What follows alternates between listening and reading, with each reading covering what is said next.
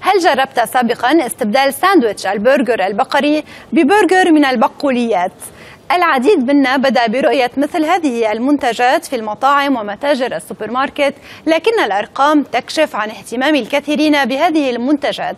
إذ أن مبيعات اللحوم البديلة أي المنتجات النباتية التي تمثل أو تماثل طعم اللحوم وصلت إلى 550 مليون دولار في 2012 في الولايات المتحدة وهو ما يشكل زيادة ب 8% عن 2010 في حين أن سوق المنتجات النباتية تقدر بمليارين و800 مليون مليون دولار سنويا.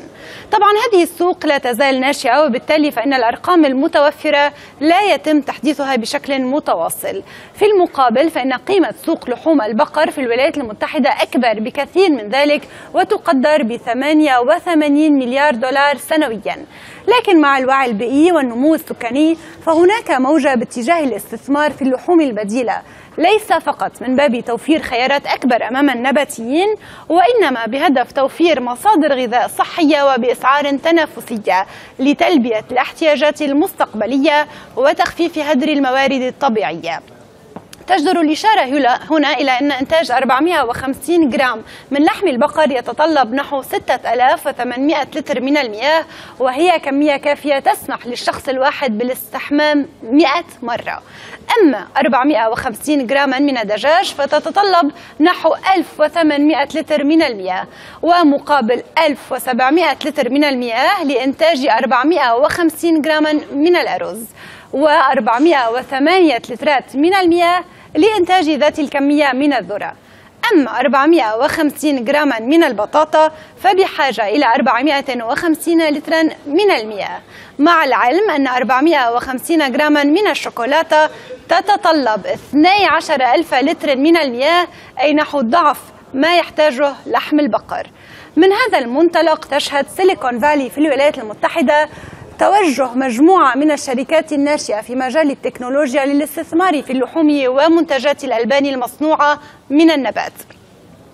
أبرز هذه الشركات Hampton Creek التي تأسست عام 2011 بعدما حصلت على 120 مليون دولار من مجموعة من المستثمرين من بينهم Khosla Ventures و Horizons Ventures إضافة إلى أغنى رجل في آسيا الملياردير لي كاتشينغ وأيضا هذه الشركة تنتج المايونيز والحلويات التي لا تعتمد على المنتجات الحيوانية.